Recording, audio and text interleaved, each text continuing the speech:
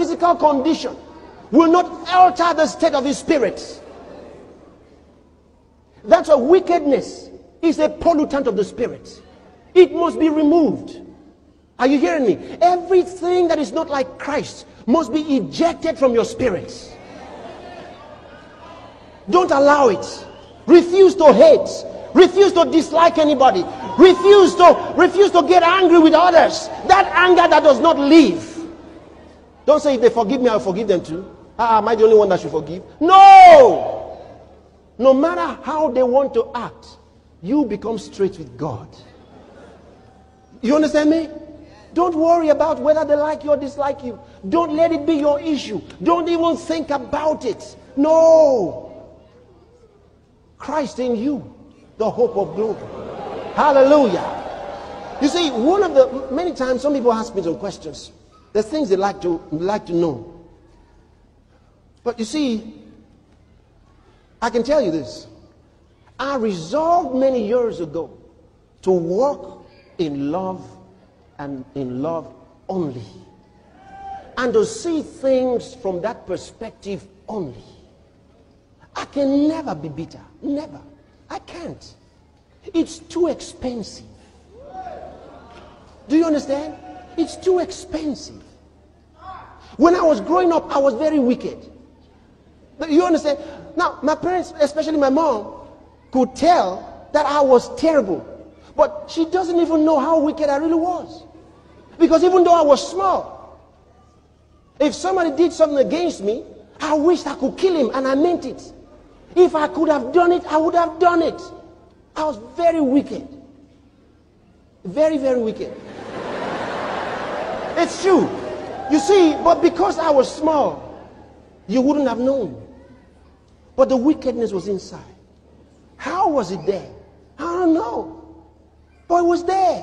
Why? Well, it has to, there must have been some walking with Satan somewhere because you can't have anything like that without the devil. But see, when I received Christ into my heart and I was born again and filled with the Holy Spirit, the same way my fears disappeared, my ability to hate and be bitter disappeared. They all dissipated. I couldn't think like that anymore. I seemed to love everybody. You couldn't talk evil of anybody around me. I would say, but that guy is nice. And I meant it. Sometimes they said, yeah, to you everybody is nice. But that's the way I thought about it. You see it? That's the way I thought about it. That's the way I could see things. That's the way I could regard people. And then many years after that, all I could do was just see that way and function in love. Are you hearing me? So I love everybody. Are you hearing me? Then, most especially when I get to meet someone, I just can't think of anything about you that's not lovable. You are wonderful. And that's the way I really think. Now, when you think like this, your health, he says, then shall your health spring up. Your strength, your ability to see, and the way the Holy Spirit can work in your life. All of these things will just multiply. The grace of God in your life will multiply. You don't care about what others think about you. I remember a few years ago when they were writing all kinds of things about me on newspapers and talking on television. I never really cared. I never got bitter. I couldn't think evil or think angry about anybody. No. No. A thousand times no. It just wasn't part of my system. I never went back to God in prayer. Oh God, why are all these things happening? Oh God, you must vindicate me. I didn't talk like that. Are you hearing me? I had a certain kind of excitement inside me for a reason. For a reason. The Bible says the righteous shall come out of trouble. You see that? I just knew. I just knew one day it would turn out for my good. I just knew inside. I had inside information that I couldn't go down. I could only go up. I had a, a, a different attitude to all those things. It's important.